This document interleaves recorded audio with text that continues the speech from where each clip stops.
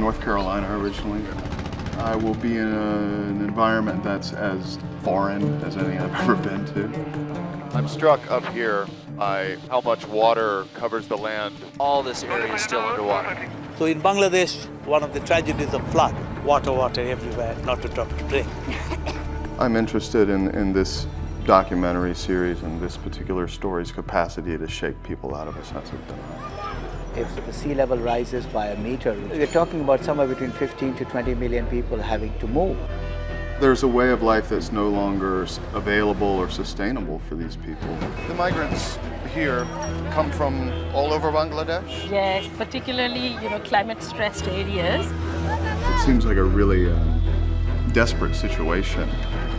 A country and a culture that produces virtually no greenhouse gases is bearing the brunt of climate change. This would be considered a good living space in the city. A certain degree of loss is at this point considered inevitable. A 12 foot high wall of water hit the city in the middle of, of the evening. She actually was crying and weeping because she had to make a choice. Which child she choose to live and which one does she choose to die?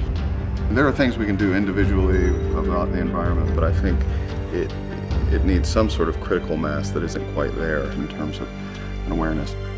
That's India. Lots of people cross this border, many of them illegally. If they find that somebody is trying to intrude, they'll shoot and then talk. If he's alive. I'm really excited to take part in, in telling a story that may well make it real for people. Some estimates predict that there will be 20 to 30 million Bangladeshis who have nowhere to go due to climate change.